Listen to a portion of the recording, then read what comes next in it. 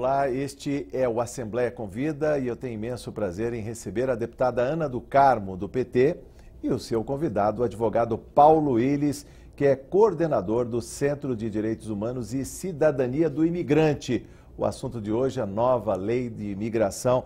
Muito bem-vinda, deputada, muito bem-vindo, Paulo Willis as suas saudações ao nosso convidado de hoje, deputada. Eu quero cumprimentar todos os ouvintes da TV Assembleia, cumprimentar o Jorge, né? Obrigado, sempre deputada. jornalista muito simpático e que nos, nos dá toda a atenção. Então, isso para mim é muito importante. Cumprimentar o Paulo, dar os parabéns pelo trabalho, pela luta, né? Eu tive a oportunidade que eu agradeço muito por ter conhecido, né?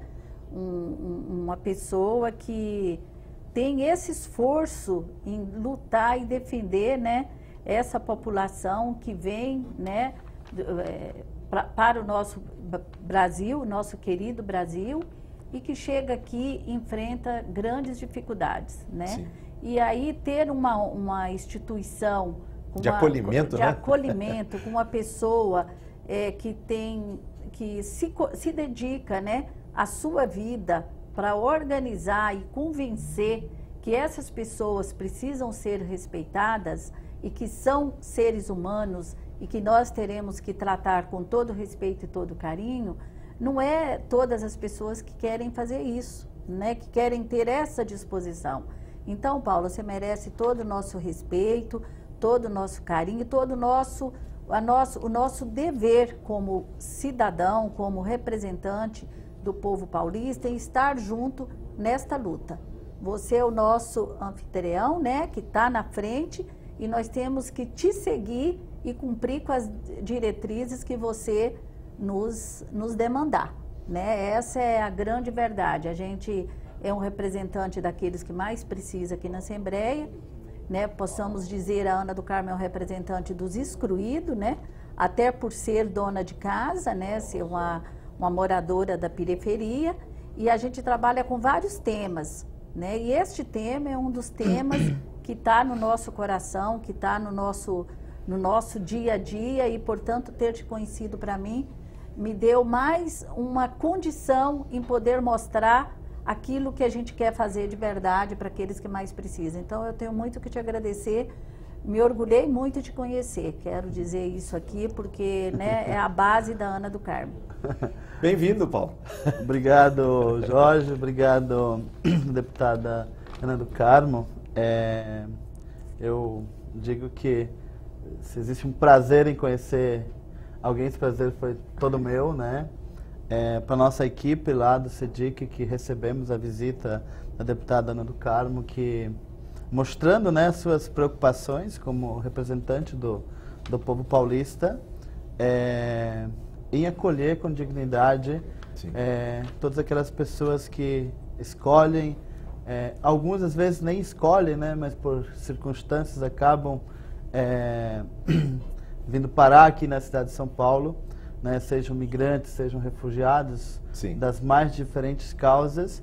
É, e é um dever de nós como cidadãos acolher, é, mas não só acolher, também criar é, mecanismos é, para que essas pessoas possam viver é, com dignidade na nossa cidade, no nosso estado e, e no nosso país. Né? Paulo, você falou CEDIC, vamos traduzir é, o que vem a ser né, o Centro de Direitos Humanos e Cidadania do Imigrante, para quem não conhece. É. é. uma ONG, é isso? Isso, o Centro de Direitos Humanos e Cidadania do Imigrante é, um, é uma ONG, né?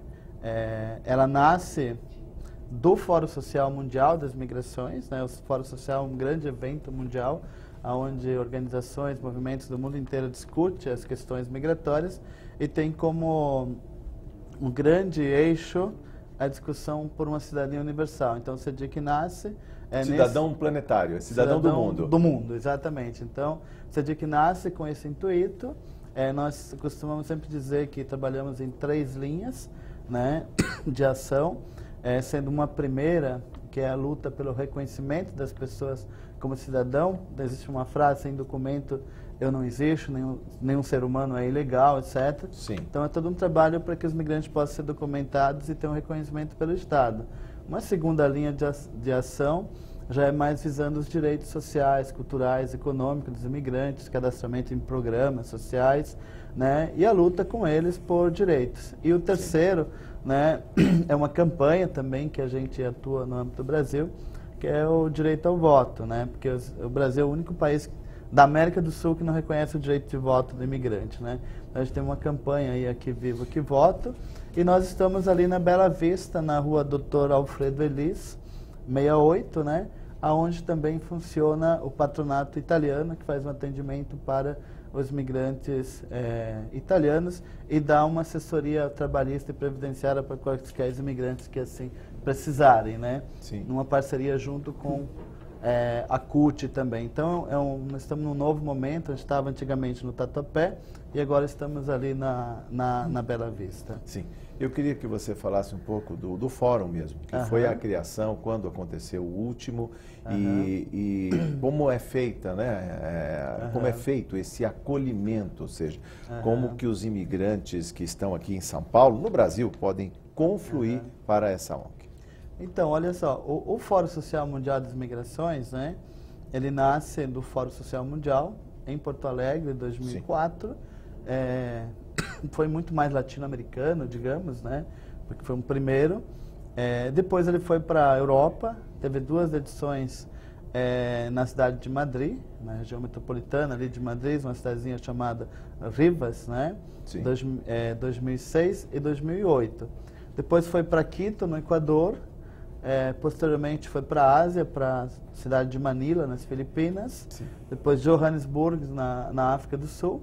2016 foi em São Paulo é, e agora 2018 será em, na cidade do México. Né? Então, é um grande evento, a gente chama evento de convergência, acontece cada dois anos, aonde são tratadas todas as temáticas, as problemáticas e as soluções Sim. ao redor da migração por governos, sociedade civil, movimentos sociais, sindicatos, é, etc. Né? Então, a edição de São Paulo foi importante porque ela, inclusive, declara a cidade de São Paulo como a capital mundial das migrações. Isso está no documento da, da Assembleia de Convergência do final, né? É, e o CEDIC foi é, a organização escolhida para fazer a secretaria técnica deste fórum, que aconteceu aqui em São Paulo. Agora nós já entregamos o mandato para uma organização mexicana, né? É, e o CEDIC, né? Então, foram duas perguntas, o fórum e o CEDIC. Sim, como é que né? as pessoas chegam. Exato. Né? Acho que a deputada também quer saber, aliás, como Exato. é o diálogo né, com os governos, seja as é. prefeituras, o governo do Estado, Exato, as casas de leis, Câmara Municipal, Assembleia Legislativa, Congresso Nacional. Exatamente. Então, os migrantes chegam no CEDIC muito pelo boca a boca. Né? As pessoas é, vão, fazem o atendimento é, principalmente a área de documentação, mas nós também recebemos denúncias relacionadas a trabalho escravo, né, denúncia vinculada a violências contra imigrantes, discriminação. É, às vezes essa discriminação é, pode ser no âmbito também é, do Estado, de repente uma escola que não Sim. matricula uma criança, etc. São tipos de demanda que a gente acaba é, tendo na, na entidade. É, e para nós a, a, relação com o poder público é extremamente importante. Tá. Né? A gente tem uma relação é, sempre de reivindicação, mas construtiva. Né? Então, de construir políticas públicas, que na cidade de São Paulo tem uma experiência... Já é a parte interessada da deputada aqui. Ó. Exatamente. Na hora de né? propor uma indicação, uma moção, Exato. um projeto de lei, não é, deputada? Exatamente. Com certeza. Né? Na cidade de São Paulo, por exemplo, é, agora se discute a implementação de um conselho de imigrante, claro que isso é, vem do executivo, né? Sim. Mas é um, é um projeto de lei que veio do executivo, foi aprovado na Câmara, voltou agora para ser implementada, né? E a deputada, né, até queria aproveitar para parabenizar aqui, a deputada também nos procurou porque ela tem aqui é todo um compromisso com essa pauta e está aí discutindo a, a apresentação de um projeto de lei também para atender essa população migrante Sim. e refugiada. Então, para nós assim, é uma honra participar desses processos, envolver os migrantes, envolver as demais organizações que trabalham com a gente essa essa pauta também, né? Deputada, como é que esse tema chegou ao seu mandato? Foi abraçado, digamos assim? Pois é, Jorge. Eu eu sou uma uma representante da população e sou uma representante dessa população que é excluída do estado de São Paulo, especialmente do ABC, aqui da capital, e aí vai.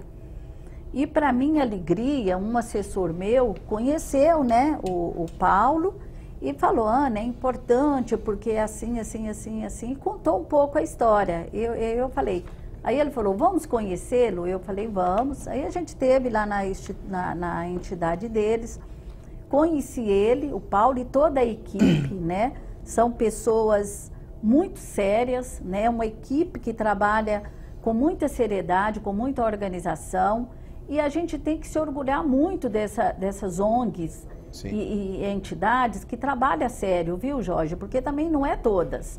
Então, às vezes, por conta de uma, as outras acabam pagando, né? As pessoas acabam achando, não, porque os investimentos que vêm não, não usam corretamente, porque não sei o quê, Sim. Mas lá é uma ONG que tem muita seriedade e tem uma equipe muito é, disciplinada, uma equipe técnica, pessoas especializadas, né? Que atende essa população, porque muitas vezes esses imigrantes que aqui chegam, Sim. não chegam em boa situação. Muitos passam por vários, eh, várias situações de discriminação, é, alguns chegam com situação, com as pessoas que foram assediadas, pessoas que uhum. foram até exploradas sexualmente por, por alguns, né, até chegar. Então, são uhum. pessoas que merecem ter essa equipe para dar esse primeiro atendimento, né? Uhum. E com esse conhecimento e com essa equipe, se o poder público tiver vontade de fazer um trabalho para ajudar e com seriedade, a gente vai diminuir o sofrimento dessa população. E sem essa equipe, sem essa ONG, o poder público também tem dificuldade de chegar. Sim. Portanto, uhum. é por isso que eu, assim, me coloquei à disposição, me coloquei para a gente deixar emendas aqui na Assembleia, deixar no orçamento, discutir um projeto né, alternativo de que forma a gente vai construir esse projeto. Porque essa, já está sendo costurado, pelo tá jeito sendo, aqui, a quatro então, mãos, a deputada Ana do Carmo, sua equipe, e, e o Paulo é, Willis lá É isso que eu quero, porque todos os projetos que o mandato da Ana do Carmo, a Ana do Carmo apresenta aqui na casa, ele é construído por pessoas, por, por uhum. entidades, por, por, por, por, por, técnicos de áreas de diferentes áreas, de, dependendo do projeto, né? Sim. Como o projeto da agricultura orgânica, ele foi construído num período de dois anos por 82 entidades e mais vários, várias pessoas individuais que contribuíram Sim. como funcionário da Secretaria de Agricultura. Ouvindo muita INCRA, gente, né? É. Promovendo audiências públicas. Isso, promovendo indo audiência campo, pública. Lá, é, indo em campo. E isso faz a diferença, porque quando você apresenta um projeto, é um projeto que teve a participação de todos. E a ideia de todos ali foram debatidas. Isso dá para ficar, isso não dá, em comum acordo com todos, né? Então isso é muito importante é. e é assim que nós estamos construindo também essa ideia junto com eles. Sim. E o Paulo, ele foi coordenador mundial dos imigrantes aqui no, no, no, no, Brasil e no, mundo. Então, ele conhece muito. Então, ele tem muito que nos propor. Vamos beber né? na fonte do, do Vamos, saber aqui. Vamos então, lá, aproveitar, ele tem né, muito deputado? saber, porque é que eu te disse. Nós somos representantes do povo e não sabemos, não sabemos tudo e nem conhecemos tudo. A gente conhece aquilo que está mais próximo da gente, da onde a gente veio, uhum. e temos que, que conhecer muito mais e é com essas pessoas que a gente vai conhecer. Sim. E vamos aprender, né? Claro. E vamos ajudar. Vamos também ajudar o nosso telespectador. Eu vou a, a, a, uma sabatina aqui com o Paulo. Primeiro, quando a deputada fala de alcançar as pessoas, números. A gente pode falar em números, seja em São Paulo, seja no estado de São Paulo. Antes de mais nada, a diferença do imigrante e do refugiado? Uhum. Não, são, perguntas muito importantes, né? É, primeiro, é, em relação à quantificação dos imigrantes no Brasil, nós temos um problema muito sério, porque existe uma dificuldade de diálogo entre os bancos de dados Sim. do Ministério da Justiça, da Polícia Federal, do Ministério do Trabalho. É, mas, é, mesmo assim, os dados da Polícia Federal é, dão conta de em torno de 1 milhão e 700, às vezes baixa um pouco, né? É, de imigrantes. 1 no... milhão e 700 é. mil. Já, já apareceram dados dessa quantia, né? Então, isso depende muito, porque quando tem um grande evento, esse, esse banco de dados ele conta o ingresso de todos os imigrantes que estão ativos no sistema. Então, quando tem um grande evento, como foi as Olimpíadas, etc., esse número vai lá para cima, né? Tá. É, mas é essa média, em torno de 1 milhão e 600, 1 milhão e 700 mil pessoas registradas no Brasil. Aqui na cidade de São Paulo são em torno de 397 mil imigrantes registrados na Polícia Federal. 397 mil. 397 mil. No entanto, é, a estimativa que nós fazemos como movimento social é que gira em torno de 2 milhões, 2 milhões Tá. e pouco de imigrantes no Brasil. Na cidade de São Paulo deve chegar em torno de 600 mil imigrantes, né? Tanto São Paulo e região metropolitana aqui. Então é um número bastante alto. Não tem o Brasil, o- no seu DNA, a imigração? Não foi a imigração portuguesa, espanhola, latina, italiana depois, japoneses? Ou seja, é, como a gente pode quantificar se realmente a pessoa é, é- é o imigrante ou não? É. Existe também a dupla cidadania, a pessoa que vem para cá, mora, trabalha, depois volta para o seu país de origem. Como é que a gente pode definir É o- quem é o imigrante? O Bra- Brasil é um país de, de imigração, né? Historicamente, né? Todo o processo de construção do Brasil eh, foi com migração, seja ela forçada, como foi a No caso dos escravos africanos, Exato, foi ou como política de branqueamento, que é o caso da migração europeia, eh, logo após a libertação da escravidão, certo? Então, assim, de uma forma ou de outra, sempre foi marcado pela pela, pela migração no nosso país, né? É, basta a gente olhar os nossos sobrenomes que Sim. são O seu Willis, por exemplo, é, por exemplo, é, vem aí dessa região do é, Império Austro-Húngaro, né? Tá. Tem mais para tem, tem muitos deles na Hungria, por exemplo, né? A minha avó é, é Smiewski, né? De polonesa. Então é, é essa mistura. E se a gente pergunta, você vai descobrir que a maioria dos brasileiros. Por isso nós sempre tivemos um, um slogan também de trabalho. É, e que quando foi realizado o Fórum Social Mundial no Equador, o governo equatoriano adotou e foi uma experiência bacana, você chegava no, no- aeroporto do Equador, tinha um, um outdoor gigante, bem-vindos a Equador, todos somos migrantes. Aquilo me chamou muita atenção, eu acho que, que é isso, nós somos todos migrantes. Todos, E isso é. fala eh, tanto da presença física nossa aqui, como também da nossa, da nossa vida. Nós somos Sim. migrantes aqui nesse planeta Terra. Não vão, sei, em algum momento a gente desaparece também, né? Então, eu acho que mexe também com a dimensão humana. Então, o tema da migração realmente apaixona quem, quem trabalha, né, com Tá. essa é, com essa temática. É, entre o migrante e refugiado, Tá. é, existe aí uma, é uma, uma divisão didática, digamos, né?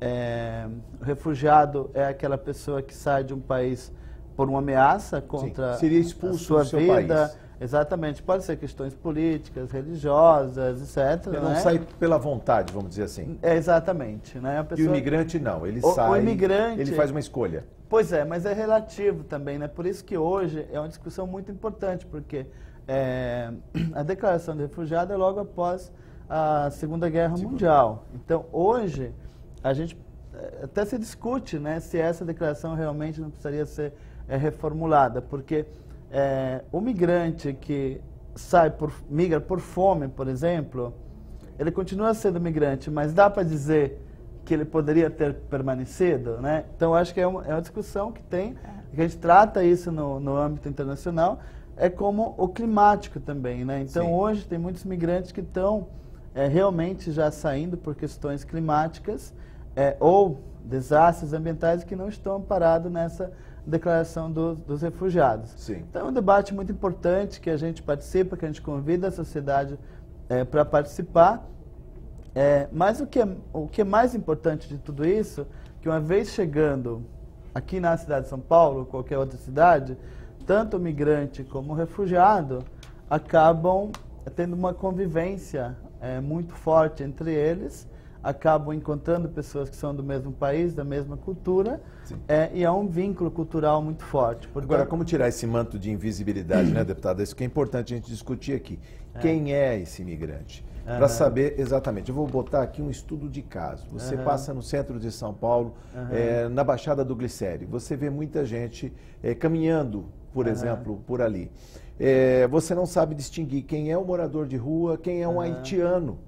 Uhum. Se a pessoa não entrar em diálogo com você e abrir a boca e você perceber, olha, está falando crioulo, está falando francês, esse não é um morador de rua.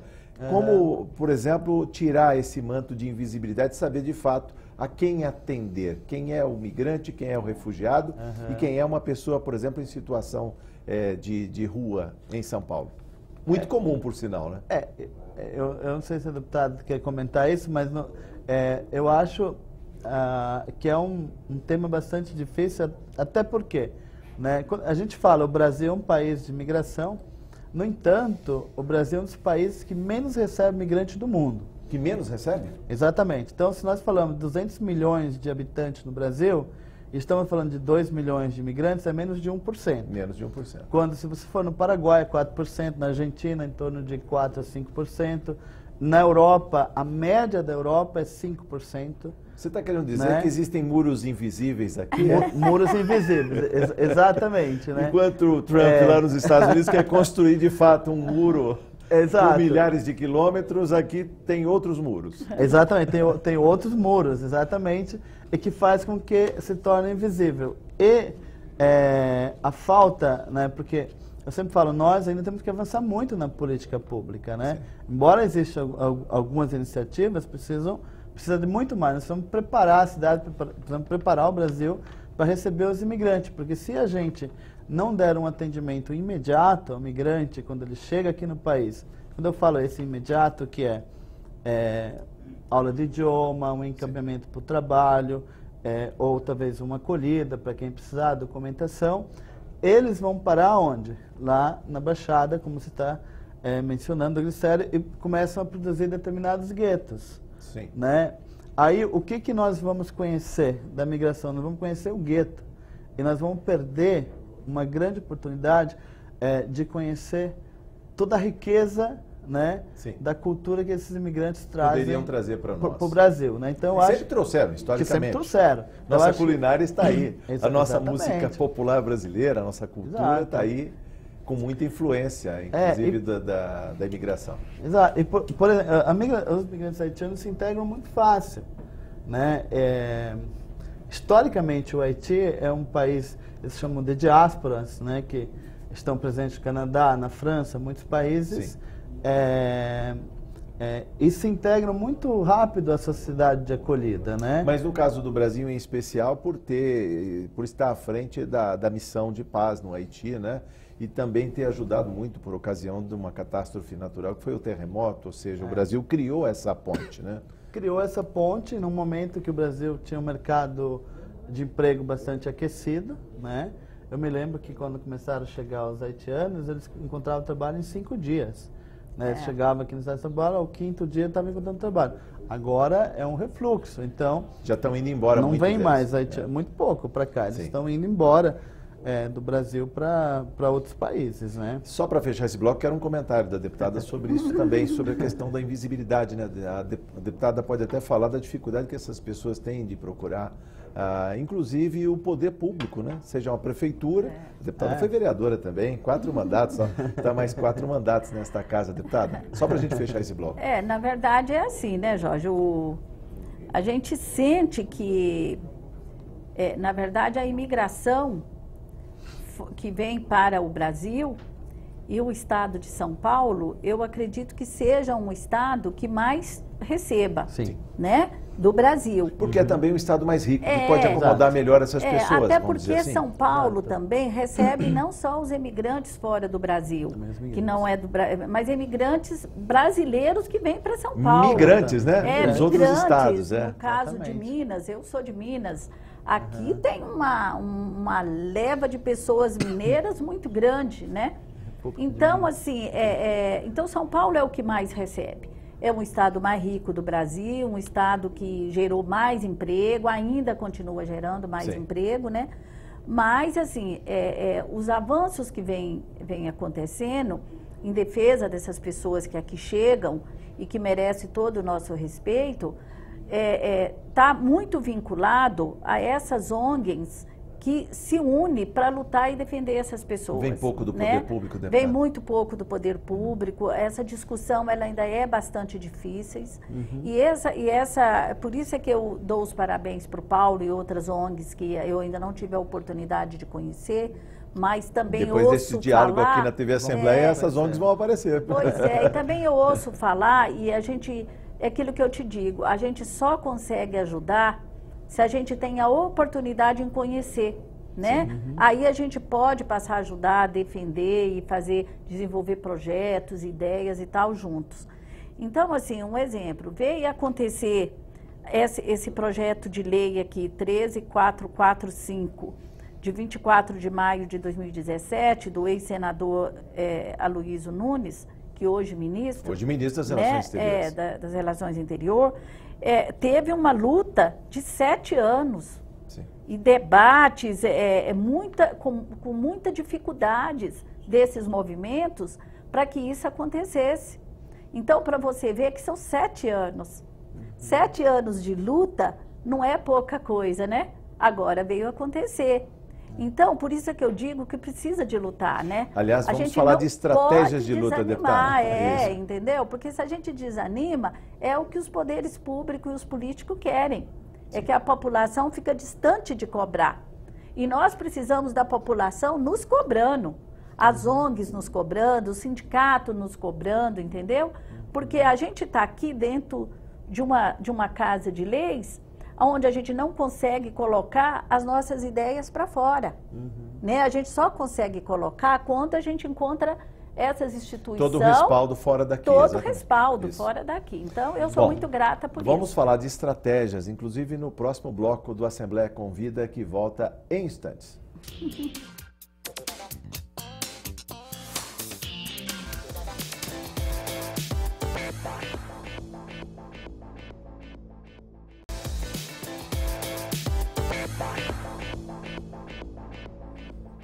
Estamos de volta no Assembleia Convida e hoje recebemos a deputada Ana do Carmo, do PT, e o seu convidado, Paulo Willis, que é coordenador do Centro de Direitos Humanos e Cidadania do Imigrante. Falei advogado, ele é filósofo, né? Estou corrigindo aqui, mil desculpas, viu, Paulo?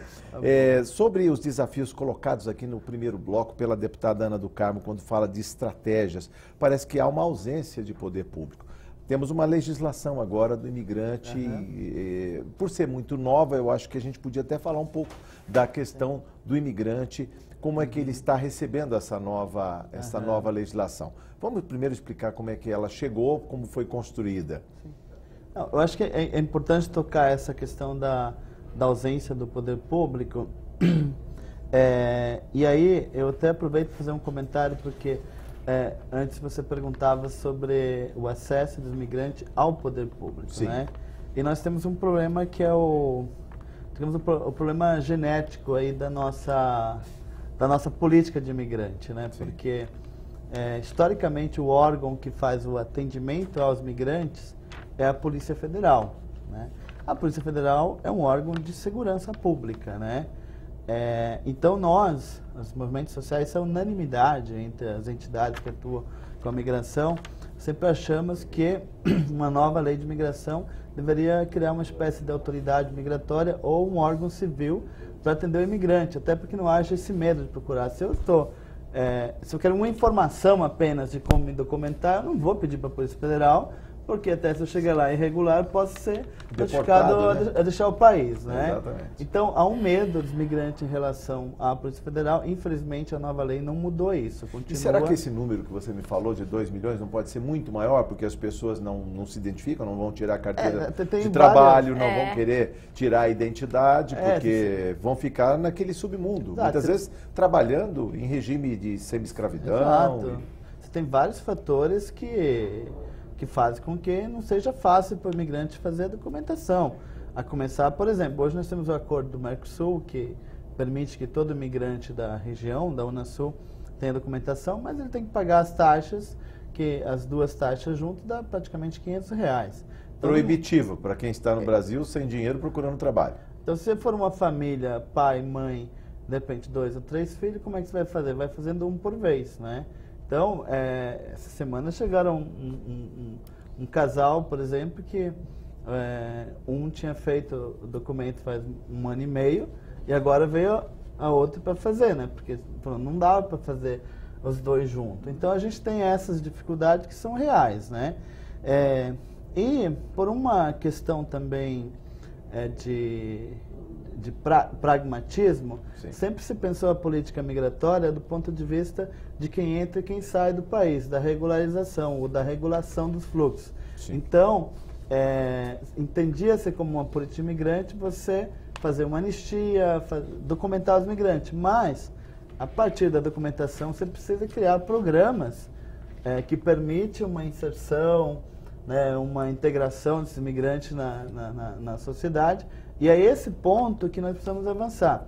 E aí eu queria registrar né, que São Paulo, a cidade de São Paulo, na gestão do prefeito Fernando Haddad, é, criou uma política de imigrantes que é reconhecida mundialmente. É a única cidade do Brasil a criar centros de acolhida para imigrantes, centros de atendimento a imigrantes, curso de português, bancarização, valorização de atividades culturais, reconhecido na França, é, em Lisboa, em Nova York, várias cidades, e que, e que essa política está tendo continuidade nessa gestão. A gente está acompanhando esse processo. Você já né? sabia disso? Eu vou perguntar para a deputada. Você sabia dessa, dessa política pública da Prefeitura de São Paulo? Sabia. É? Sabia por ele. Ah, sim. Sabendo pelo Paulo. Eu fui coordenador, né? Sim. então, é, não é, não, a gente, quando mas... fala da política pública de uma prefeitura, em estando numa casa de leis, numa Exato, Assembleia Legislativa, é. a ideia é que isso se torne uma política pública para os 645 municípios. Está aqui Exato. a deputada, o mandato é. dela aí.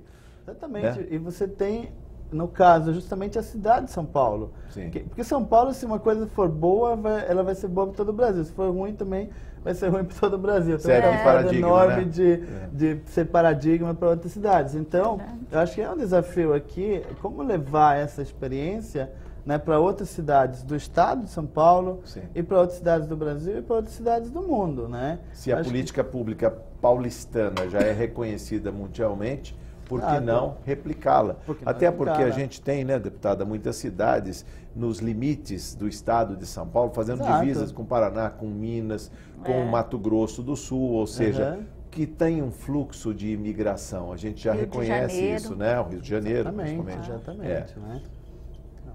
Deputada, o que falar também dessa expertise que ele está passando para nós, essa capacidade de, de produzir uma política pública? Parece que a senhora já está aí pensando num projeto. então, nós estamos é, já pensando num projeto para a gente apresentar aqui na casa. Esse projeto, ele, a gente está, é, né, tem a, a, as instituições, através deles, estão pensando em dar o nome, é, é, denominar o nome desse projeto Todos os Povos. Todos né? os povos. É, mas, assim, ainda está em debate, em discussão, em elaboração com eles, né? Sim. Então, ainda é a minuta é, a minuta. futuro projeto. A gente apresentou uma minuta para eles esmiuçar agora e debater. Tá.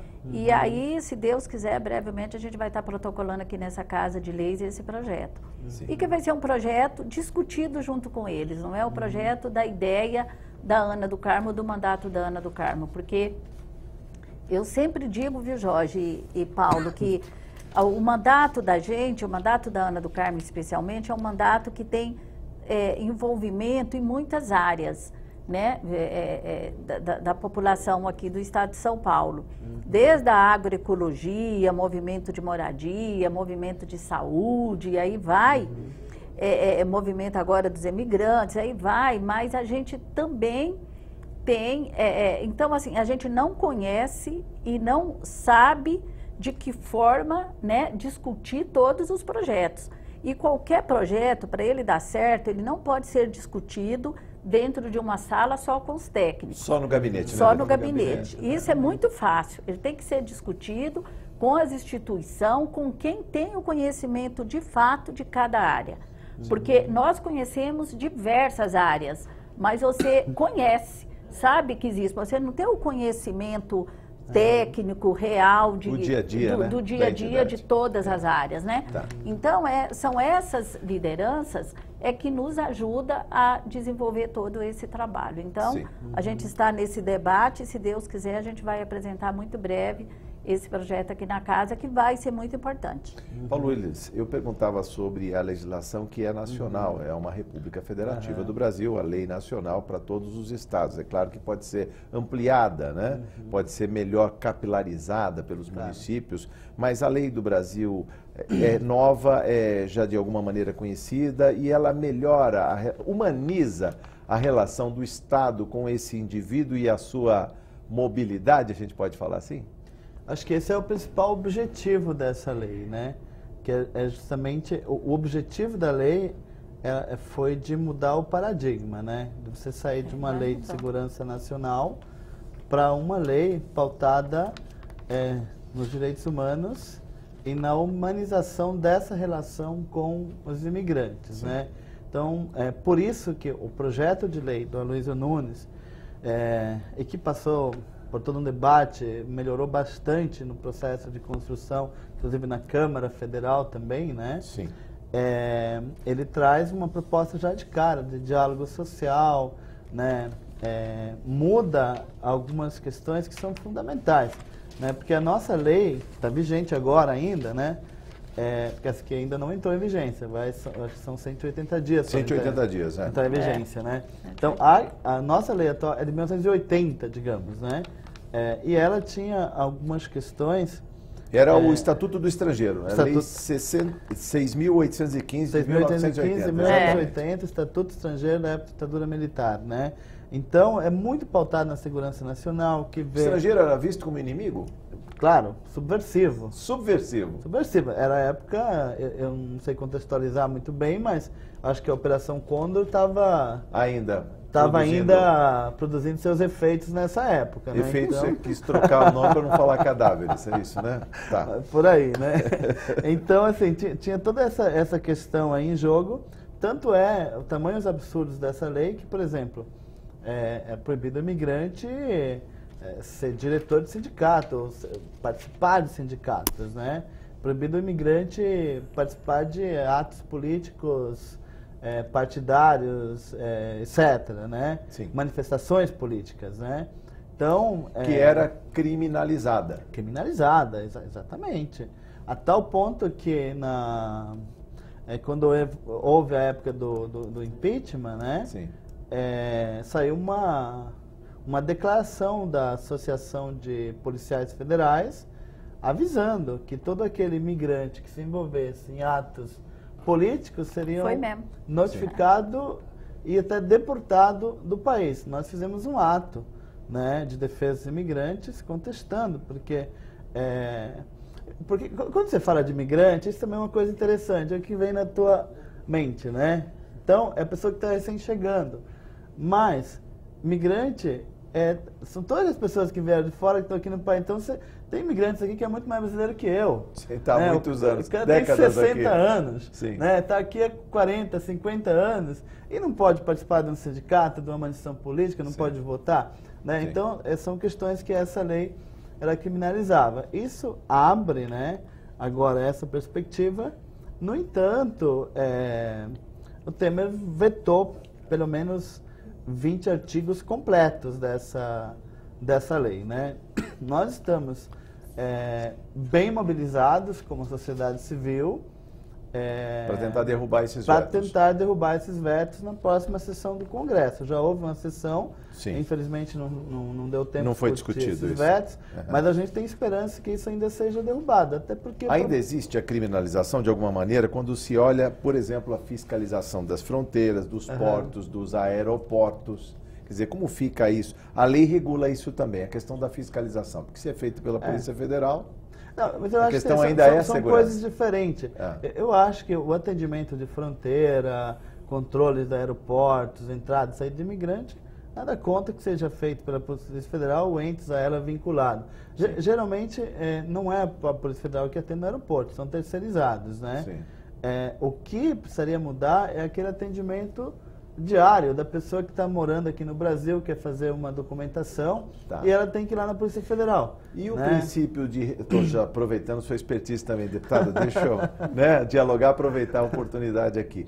Mas se fala em princípio de reciprocidade. O Brasil, uhum. no Concerto das Nações, ou seja, dá a esse imigrante o mesmo tratamento que o brasileiro recebe lá fora e temos também milhões de brasileiros em outros países aí, né? principalmente nos Estados Unidos, na Argentina uhum. também. É, eu, eu, eu, a, questão da reciprocidade é uma coisa interessante quando se trata de, de diplomacia. Sim. Nas questões de direitos humanos, eu, eu acho que é relativo, né? Uhum. Porque não é. Se, se alguém te trata mal lá no. É, trata mal um brasileiro lá no exterior, não é por isso que a gente vai tratar mal é, os imigrantes aqui, né? Então eu acho que, é, pelo contrário, o Brasil precisa dar, dar um exemplo, né? É, de como acolher. Nós, quando fomos no Fórum Mundial de Migrações lá em Madrid, eu me Sim. lembro que o presidente da nossa organização ele abriu o fórum dizendo, fazendo uma crítica aos centros de detenção de imigrantes tá. né, que existem na Europa. No, no, Brasil, quando os europeus foram, é, chegaram no Brasil, é, o Brasil não criou centro de detenção, o Brasil criou centros de acolhida. Tá. Né? É, isso e, faz toda a diferença. Exato, faz toda a diferença. Então, acho que nessa atual conjuntura que você tem o Trump querendo fechar o muro, né? Sim. É que você tem inúmeros muros crescendo ao redor do mundo. Não é só México, Estados Unidos, você tem muitos na Europa, vários países, né? É, essa tentativa de é, proibir a livre circulação da, das tá. pessoas, né? Criminalizar, gastar recursos com polícia, né, que perseguiu o migrante irregular, etc. O Brasil dá outro exemplo. Eu vou usar aqui a questão de São Paulo, quer dizer, cria centros de acolhida, de acolhida, centros de atenção. Acho que essa, essa é a linha que o Brasil precisa seguir. Em matéria de lei, é, o brasileiro é cordial, é o brasileiro que bem recebe. Eu de, lembro aqui, viu, deputada, nos eventos planetários, a Copa do Mundo, o Brasil que bem recebeu, por exemplo, as seleções, inclusive uhum. as torcidas. Né? O croata, o chileno que vem aqui, mas uma coisa é o turista, é bem receber o turista, e outra coisa é o imigrante, ainda mais no momento de crise econômica, com grande desemprego. Tem gente que fala, não, pelo imigrante. É né? E, e, eu queria até a sua apreciação sobre esse tema, deputado. Se realmente a, a lei ela alcança as pessoas, o imigrante que mais precisa dela, e a deputada já está de olho também, inclusive, na, no que vai virar uma futura lei nesta casa, né? O, é, todos os povos. Então, é, na verdade, esse, essa lei que hoje foi, foi aprovada no, no, no Senado Federal. Sim. É a nova lei da imigração, mas Isso, na verdade vai vigir daqui a... Que é a nova lei de é, imigração, é. que a gente espera, como o Paulo bem disse, que esses vetos sejam derrubados. Derrubados. Né? Derrubados para que seja uma lei que venha, de fato, atender né, é, é essas demandas né? e as necessidades do, dos imigrantes. E o nosso projeto de lei que a gente vai apresentar aqui na casa eu ainda não tenho assim todo o conhecimento dele, mas eu espero que seja um projeto de lei também estadual que venha a, a, a ter um, um, um, atendimento e uma responsabilidade do Estado de São Paulo. Com aquele viés né? dos direitos humanos. Com aquele viés dos direitos humanos, porque não dá para um Estado igual o Estado de São Paulo uhum. não ter nenhuma política pública do Estado né, é, é, diante de toda essa situação, para acolher os nossos emigrantes, né? É, porque seria é, é, é, desumano, né? Tá. E é in, não dá para compreender que um estado igual o estado de São Paulo não tenha uma política voltada a esses atendimentos. Então a, a gente quer que, assim. discutir, debater bastante isso para que a gente possa o estado também possa ter a sua, a sua parcela de responsabilidade nesse processo todo. Fragilidade do Estado de São Paulo nesse tema, a ausência de uma política pública nesse sentido. Eu lembro aqui, no caso dos Sim. haitianos, que muito se reclamava que a política pública do Acre, por exemplo, era acolher é. os haitianos, colocar num ônibus e mandar aqui para São é. Paulo. A, a, ausência de regulação disso cria um conflito, Paulo? Cria, com, com certeza, né? É. é eu acho que a nossa legislação anterior ela, ela negava o imigrante. Eu acho que essa é, é, é a questão principal, né? E, e, você não tinha um pacto federativo. Essa nova lei de imigração, ela, ela trouxe, tem um artigo que fala justamente dessa responsabilidade é, entre o governo federal, os estados e os municípios na, na política de imigração, porque aí você atende tanto a documentação como a inclusão, né, as questões culturais, que é extremamente importante, né, do migrante, é, as políticas de moradias, etc. Né? É, eu acho que o Estado de São Paulo teria condições de fazer muita coisa, né? Um Estado realmente que tem condições, tem, é, tem estrutura, né? Que poderia ser... É, porque a política de imigrante, às vezes, é, as pessoas se assustam, né? É, e perguntam, não, mas quanto vai custar? Os imigrantes estão... É, quanto custa fazer a política de imigrante para pessoas que estão de fora? Não resolvemos problemas nossos ainda. Tem muito esse discurso, que é um discurso Sim. equivocado, né? É, então, assim, muitas vezes é você articular os serviços, capacitar os serviços para que estejam preparados para receber o imigrante. Né? Então, é, que, o, que os CREAS, CRAS, né, todos os equipamentos públicos, hospitais, a saúde... Estejam abertos, Estejam abertos e preparados. Né? Eu, eu, eu, gosto muito da política de Portugal. Portugal tem uma das melhores políticas de imigração do mundo, é reconhecida. Né? Você tem centros de língua. Então, se chega um imigrante ucraniano, na época que eu fui lá, eram muitos ucranianos que estavam chegando, chega lá no hospital, esse hospital ele já tem ali um catálogo de onde que ele vai ligar para que um tradutor possa lá e ajudar. Né? Então, são coisas que às vezes que não são São. Paulo poderia ter isso. São Paulo poderia fazer, né? Uhum. O Estado tem o SIC do imigrante, né? Então é importante registrar o que, que Isso existe. da Secretaria de Justiça. Da aqui, Secretaria né? de Justiça, é. que está aqui na Barra Funda, que é um espaço muito importante que poderia ser potencializado muito mais, né? É, e que pudesse ser também descentralizado, né? Pudesse estar em diálogo com os poupa-tempos para que o imigrante pudesse ter acesso lá a toda essa essa informação, né? E qual o principal anseio? Já estamos esgotando quase uhum. o nosso tempo da conversa aqui. Mas quais são os principais anseios dessa população, dos imigrantes que estão aqui chegando a São Paulo todos os dias, né? E não é. encontram esse teto, essa guarida é, e nenhuma política pública de acolhimento, assim, até é. pela, pela quantidade de pessoas que estão aí, né? É. Ah, acho que, em primeiro lugar, o migrante, é, geralmente o migrante, ele chega, ele precisa trabalhar logo, porque ele precisa juntar um dinheiro que é para pagar os custos da sua viagem e às vezes até manter uma família que ficou lá. Então, é, demora algum tempo para que ele crie os vínculos Sim. e comece a entender como é que funciona é, essa sociedade, as estruturas e partir para uma parte de reivindicação. As comunidades mais estabelecidas têm uma demanda muito concreta que é o reconhecimento cultural, a participação, pelo fato de não votar, né? Tá na, nas eleições é, um, é um tema importante. Mas, Podemos é... até falar rapidamente agora, ainda temos três minutos. Você falou que esse é um dos problemas, o imigrante é, não vota. Exato, não vota, portanto, deixa de ser prioridade para, para os políticos. Né? Você encontra deputados como Ana do Carmo, muitos outros é, parlamentares que, que, que atendem a essa população porque tem um compromisso né, com o outro, com o excluído, etc. Né? Mas o fato de não votar conta sim né? Sim. Na hora de você trazer uma proposta, uma emenda, sobretudo que, que se diz res, é, respeito ao orçamento, isso importa. Então, se não vota, também não pode se candidatar, não pode estar não pode junto a um partido político. Exato. É, o Brasil foi ficando para trás, Paulo, estou até acelerando aqui um pouco, porque neste mesmo estúdio da TV Assembleia SP recebemos um uhum. senador italiano eleito pela comunidade italiana no Brasil. Exatamente. Ele veio aqui, o senador Longo. É, nesse aspecto, o Brasil foi ficando para trás.